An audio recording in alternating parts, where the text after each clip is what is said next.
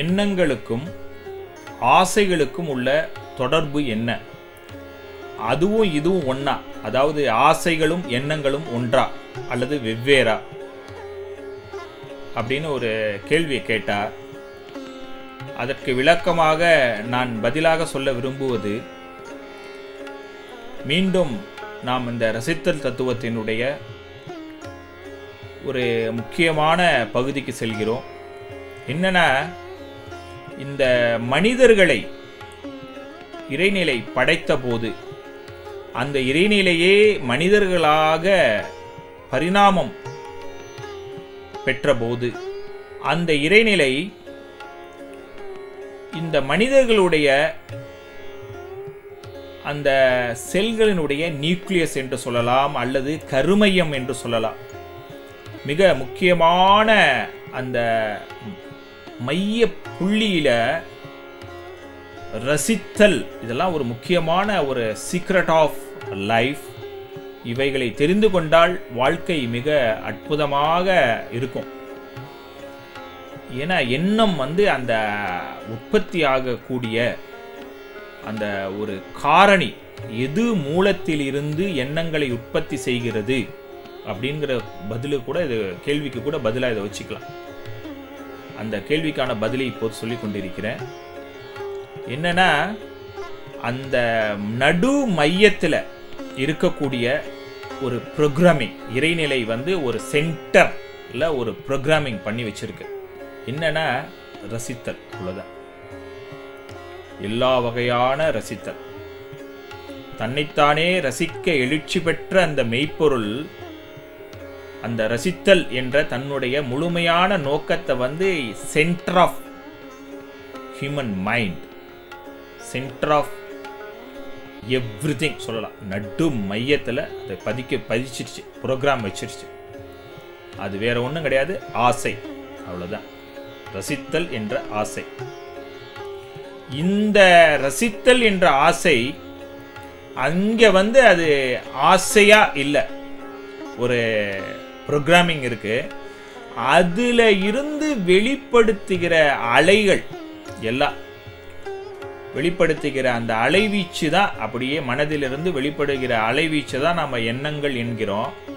அந்த ரசித்தல் என்ற எழுச்சி எண்ணங்களாக அப்படியே வெளியில் வந்து கொண்டே இருக்கிறது.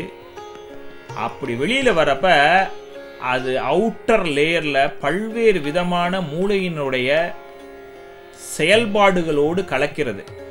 மூளை வந்து ஒரு கம்ப்யூட்டிங் அப்படிங்கிற ஃபங்க்ஷன் பண்ணால் அதை அதை வந்து இந்த எண்ணங்கள் கலந்து விடுகிறது.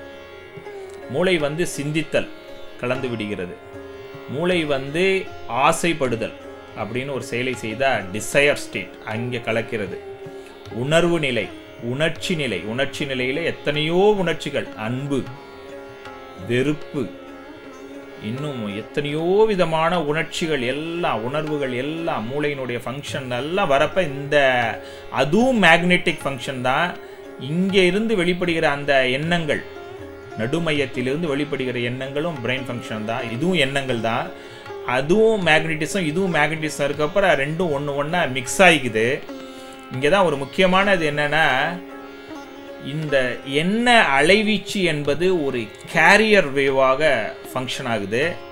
மூளையினுடைய இந்த மற்ற செயல்பாடுகளுடைய காந்தம் எடுக்கிறது வந்து உள்ளே இருக்கிற அந்த மெயின் வேவ் அதை வந்து விளக்கமாக சொல்லணும் விரும்புகிறேன் அது வந்து எப்படின்னா ஒரு அன்புங்கிற ஒரு வேவ் வெறுப்புங்கிற ஒரு வேவ் அல்லது வேற வேறு பல்வேறு விதமான உணர்வுகள் உணர்ச்சிகள்லாம் எல்லாம் வந்து எல்லாம் wave wave wave wave frequency தான். எல்லாம் மூளையினுடைய பல்வேறு விகுதி பகுதிகளுடைய ஃபங்க்ஷன்ஸ் தான்.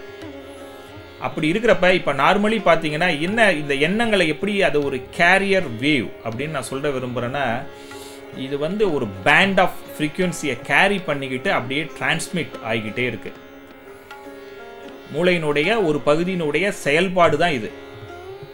எப்படின்னா நம்ம அந்த எஃப்எம் பார்க்குறோம் டெலிவிஷன் சேனல்ஸ் பார்க்குறோம் எல்லாம் பார்த்தீங்கன்னா யாரோ ஒருத்தங்க பேசுகிறாங்கன்னா அதை வந்து மைக்கு வச்சு மிக்சர் மூலமாக ஆடியோ ஃப்ரீக்க எக்யூப்மெண்ட்ஸ் மூலமாக எல்லாத்தையும் கன்வெர்ட் பண்ணி எலக்ட்ரிக்கல் வேவ்ஸாக கன்வெர்ட் பண்ணிவிட்டு அதை வந்து பேண்ட் ஆஃப் ஃப்ரீக்குவென்சி நம்ம வந்து இப்போ வேறு ஏதாவது ஒரு சேனலில் பார்த்தீங்கன்னா இதுக்குன்னு அதுக்குன்னு ஒரு அலாட் பண்ணியிருப்பாங்க ஒரு பேண்ட் ஆஃப் ஃப்ரீக்வன்சி இத்தனை மெகா ஹெட்ஸ் அப்படின்ட்டு அலாட் பண்ணியிருப்பாங்க எஃப்எம்மாக இருக்கட்டும் ஏஎம்மாக இருக்கட்டும் இல்லை மிட்வேவ்ஸ் இருக்கட்டும் எல்லாம் பார்த்தீங்கன்னா ஃப்ரீக்குவென்சி அலாட் பண்ணியிருப்பாங்க அது ஒரு கேரியர் பேண்ட் அதில் தூக்கி இந்த யாரோ பேசின இசை நிகழ்ச்சியோ ஆடியோவோ வீடியோவோ எல்லாத்தையும் தூக்கி மிக்ஸ் பண்ணி அதை டிரான்ஸ்மிட் பண்ணுவாங்க. டிரான்ஸ்மீட்டர் மூலமாக பவர்ஃபுல் டிரான்ஸ்மீட்டர் மூலமாக அந்த டிவி சேனல் நிறுவனமோ அல்லது அதற்காக இருக்கக்கூடிய தனியான ஒரு நிறுவனமோ இல்லை ரேடியோ ஸ்டேஷன்ஸோ இல்லை அந்த மாதிரி ஒயர்லெஸ் ஸ்டேஷன்ஸோ வெளிப்படுத்துவாங்க. ஒரு கேரியர் அந்த எண்ணங்கள் என்பது ஒரு கேரியர் வியூ அதில் வந்து மூளை மூளையினுடைய மற்ற பகுதிகளுடைய செயற்பாடுகளிலிருந்து வெளிப்படுகிற அந்த ஃபங்க்ஷன்ஸினுடைய மேக்னட்டிசம் தூக்கி வச்சு இது வெளியில் டிரான்ஸ்மிட் ஆகி போய்கிட்டே இருக்கு. இப்போ எடுத்தீங்கன்னா எண்ணங்களுக்கும் ஆசைகள்னா அந்த எண்ணங்கள் என்பது ஆசைகளை சுமந்து சென்றால் அது ஆசை என்ற ஒரு எண்ணமாக மாறிவிடுகிறது. வேற உணர்வுகள் வேறு விதமான உணர்வுகள் ஒரு நட்புங்கிற ஒரு உணர்வு. அதை சுமந்தா அது ஒரு நட்புங்கிற உணர்வோடு சேர்ந்த எண்ணங்களை வெளிப்படுத்தி கொண்டே இருக்கிறது. ஒரு காதல் என்ற ஒரு உணர்வு. அல்லது காமம் என்ற ஒரு உணர்வு அல்லது ஒரு அழகை ரசித்துக் கொண்டிருக்கக்கூடிய உணர்வு ஒரு அமைதியாக இருக்கக்கூடிய உணர்வு. இது மாதிரி பல்வேறு விதமான உணர்ச்சிகள் ஒரு கோபம் என்ற உணர்ச்சி அப்படியே பொங்கி வெளியில் வருது. அதுவும் இந்த கேரியர் வேவில் தான் தூக்கி வைக்கப்படுது. வச்சு வெளியில் டிரான்ஸ்மிஷன் ஆகிக்கிட்டே இருக்குது மற்றவர்களும் அது மாதிரி டிரான்ஸ்மிட் செய்கிறத அது இங்கே ரிசீவ் ஆகிக்கிட்டே இருக்கும். இதுதான். ஆகவே எண்ணங்கள் என்பது ஒரு கேரியர் வேவ் போன்றும் அதில் வந்து ஆசைகள் என்ற ப்ரோக்ராமிங் இணைக்கப்படுகிற போது அவைகளை சுமந்து கொண்டு வெளிப்படுகிற எண்ணங்கள் ஆசைகள் என்ற எண்ணங்களாகவும் வெளிப்பட்டு கொண்டே இருக்கிறது. ஆனால் இதுக்கு எல்லாத்துக்கும் நடுமையத்தில் இருப்பது இறைவனுடைய மிக முக்கியமான நோக்கமாகிய ரசித்தல் என்ற இறைவனுடைய ஆசை. இறைவனுடைய ஆசை நடுவில் இருக்கு.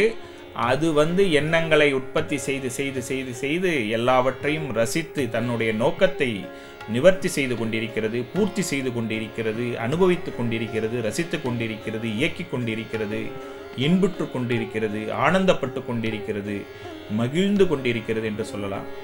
அது வந்து இந்த எண்ணங்களை பயன்படுத்தி கொண்டே இருக்கிறது. அலைவீச்சாக காந்தமாக எங்கும் அப்படியே ப அப்படியே தங்கு தடையில்லாமல் பரவி தன்னுடைய பூரண ரசித்தலை நிகழ்த்தி கொண்டிருக்கிறது.